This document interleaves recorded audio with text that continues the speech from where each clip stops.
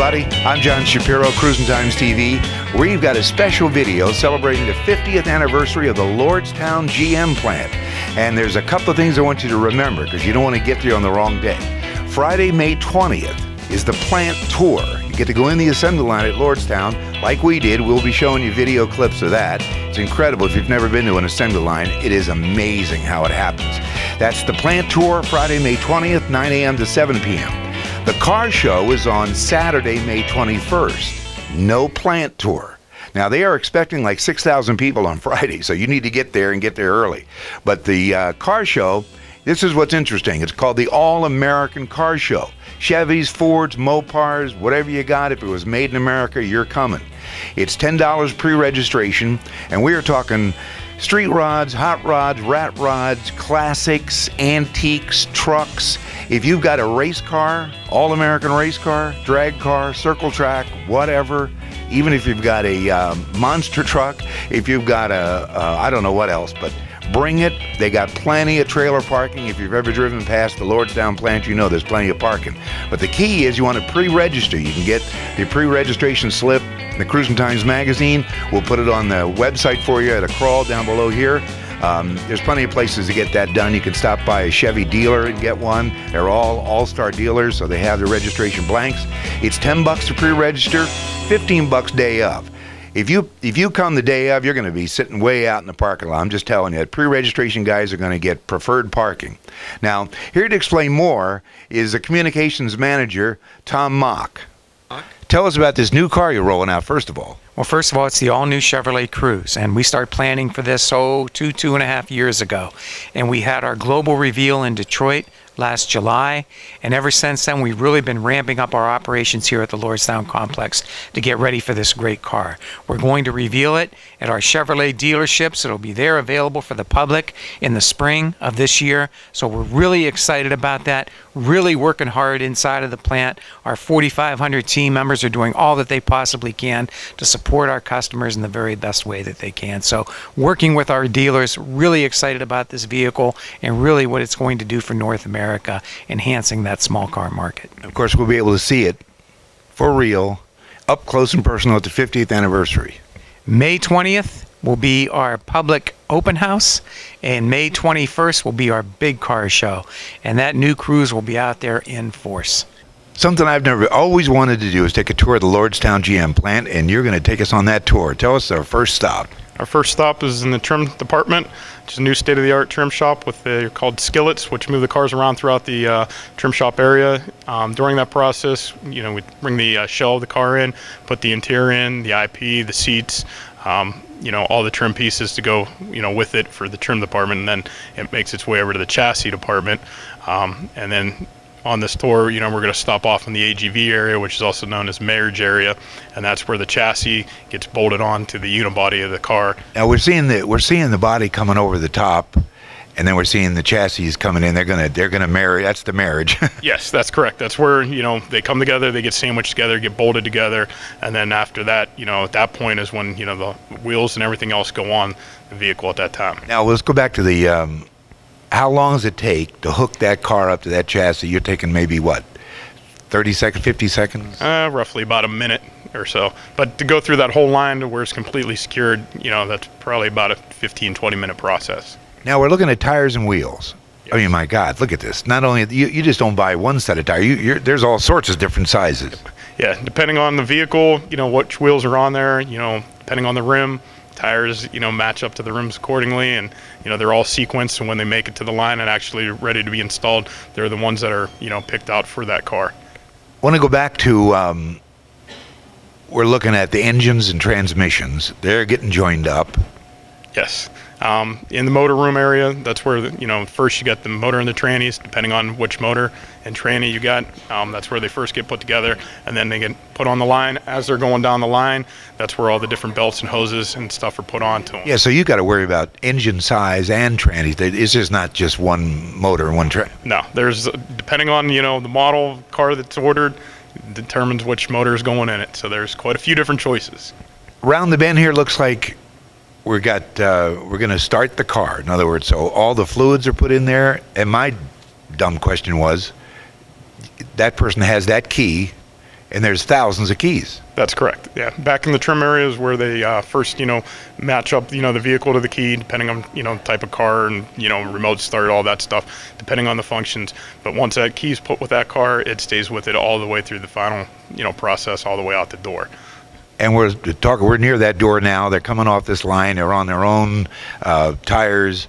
Uh, they're just now getting checked for like like what Um, they're just looking for quality, you know, concerns, you know, make sure the fit finish, everything's good, you know, make sure there's nothing that uh, got skipped in the process. And, you know, once the vehicle makes it all the way down the line, it goes into uh, tow in, you know, for the alignment.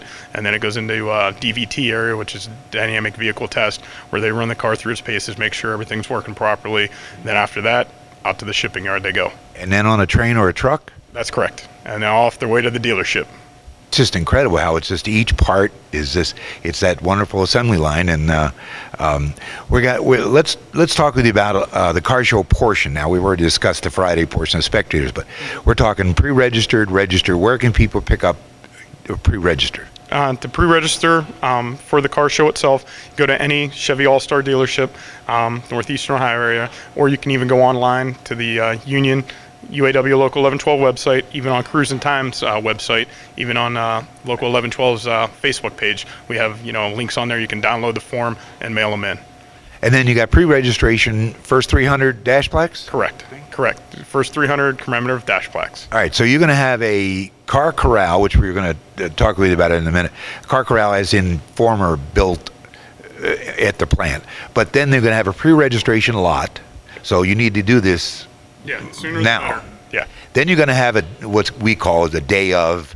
Uh, you know, you're you're going to have to park a little bit further over, but there's going to be plenty of food for everybody. There's going to be plenty of uh, um, vendors and and charity associations, right? That's correct. All the proceeds from the uh, car show are going to three local veterans charities. Um, you know, obviously we'll find out the total once the show's over. But yeah, we'll have them on hand. Um, military recruiters here. Um, you know, a couple different displays from GM um, up in Detroit's going to send some stuff down. So it's going to be a pretty big happening that day. Speaking of happening, I mean, here it is, 50th anniversary. Uh, we want to go back to the history. So why don't you uh, introduce our next guest? Our next guest is going to be Glenn Johnson, president of UAW Local 1112. that we had our groundbreaking you know, in, in 1964 and built our first car in 1966, which was a Chevrolet Impala. Uh, very exciting time for us, and then we transitioned over to making the Firebirds, and the Firebirds were fun. You know, from my history, from the folks that were here, used to tell me what a blast they were to drive around the property. You know, so you know, just to, uh, you could you could imagine the old uh, 455. Um, you know, uh, So in other words, you're saying there was a lot of black marks on the pavement. Yes, there was. Made for some interesting test drives. I Let's call it that. Okay. Next car was what? Chevy Vega, 1970. I own one. I think it was built here in '73. I bought it. Yep. Uh, you know, the Chevy Vega was uh, uh, GM's first endeavor into small car, coming through right about the same time the Arab oil embargo was hitting. Uh, quite honestly, didn't do it very well. But you know, when you're used to being building big cars and, and gas guzzling cars and having to shift gears in a very short time, GM was able to do that. Uh, but you know, uh, let me preface that by saying that the small car has been very, very good to Lordstown, Ohio. To the team members, to the families, to the valley, the small car has been very good to us. Um, you know, we've learned some, we learned some lessons, and then when I got here in 1977, it was around the time of Monza, Chevy Monza. Okay, and at one time we built all five lines for General Motors. You know, it was uh, see, test my mind, uh, Chevy Monza, Pontiac Sunbird, Oldsmobile Firenza, Buick Skyhawk, and Cadillac Cimarron. Whoa, very good. Okay. and also during that same time period, we were building full-size G-body vans. You know, that was something that is part of our history that is now gone.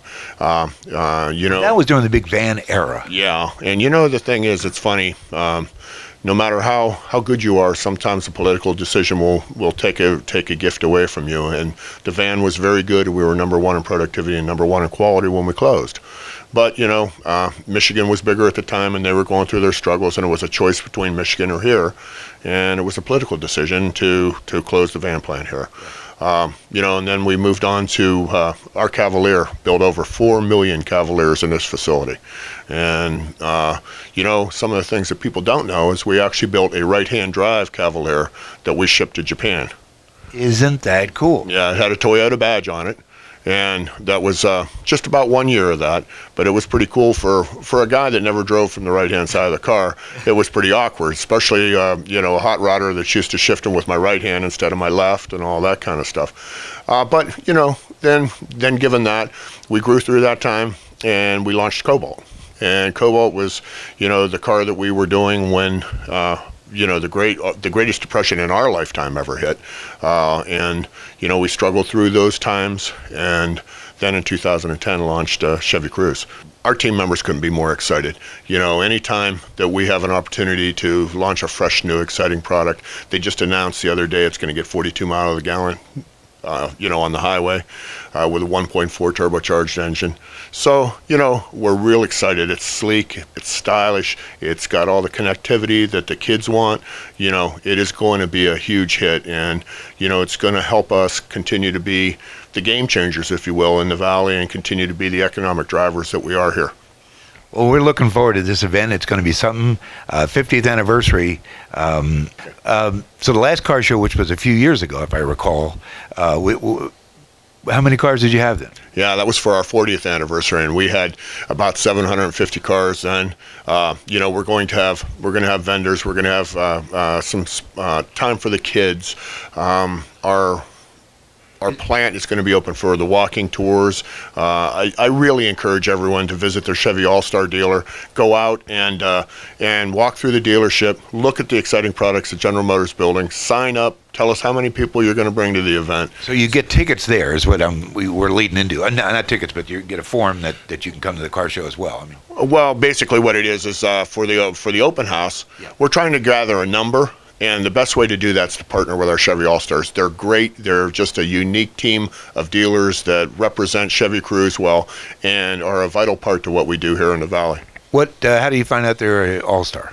Well, everyone is, so that makes it pretty easy. Any Chevy do- any Chevy dealer in the Tri County area is a Chevy All Star. Oh. There's 17 of them. There's 17. Okay, okay, good. So they can just go there. They can also sign up as we are talking about the car show uh, participants you can get forms there to fill out as well. Yes, you can get them there, or you can get them on our UAW website at uaw1112.com, or um, obviously through Cruisin' Time magazine. Yeah, so we're covered there, and and I fully expect a lot more than 700. I certainly hope you're right. I hope to blow the doors off the place. I mean, weather-wise, we, we can't control that, but I right. have a feel 50th anniversaries have this magic thing, you know, and then yeah. they just everyone wants to be a part of it. And uh, uh, we thank you so much for inviting us over here. It's the first time I've been in, inside, and, and probably the first time for a lot of people to be able to see what goes on here. Yeah, we're we're we're real excited. Uh, you know, anytime we can share uh, the good work that our team members do every day with our customer, and actually have them see what we do, uh, it's a proud moment for all of us.